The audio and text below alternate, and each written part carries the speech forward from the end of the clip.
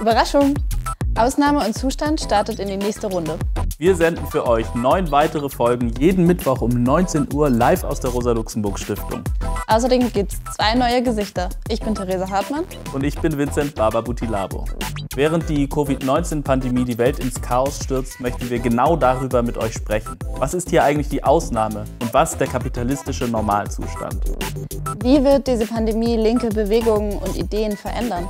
Wie wird Corona unsere politischen und sozialen Verhältnisse prägen? Genau darüber wollen wir reden. Mit Aktivistinnen und Expertinnen aus Politik, Bewegung und Kultur.